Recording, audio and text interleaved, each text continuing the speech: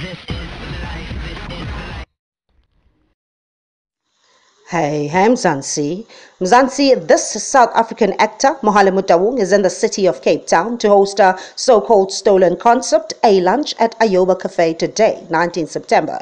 Now, at the beginning of August, audio clips were leaked between Motaung and the producers of Living the Dream with Somizi.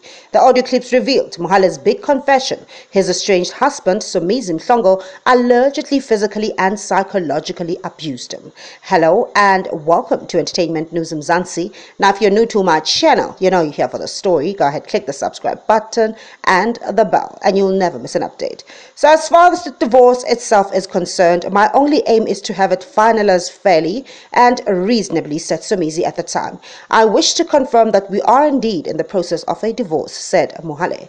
Now, while many thought that Mohale was looting Somizi and a gold digger, the Rockville star seems to be doing just quite fine without Somizi. I mean, he is the CEO of Glam Troop, a styling company company that offers matric dance makeovers and a brand ambassador and hosting events. Now, many thought that he was stealing his estranged husband's ideas as his latest gig is hosting a lunch.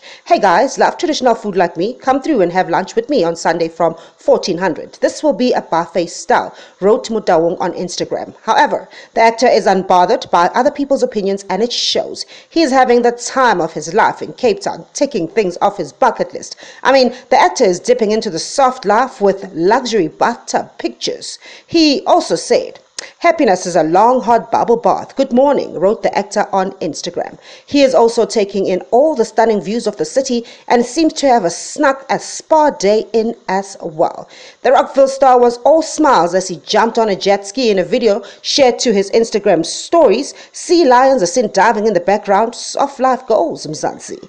Now there you have it, Mzansi. It seems like Mohale is doing just fine, and so is Somizi also bringing it up and securing the bag. Leave your thoughts in the comment section below. I love to hear from you, but for now, you know, I will bring you the updates hot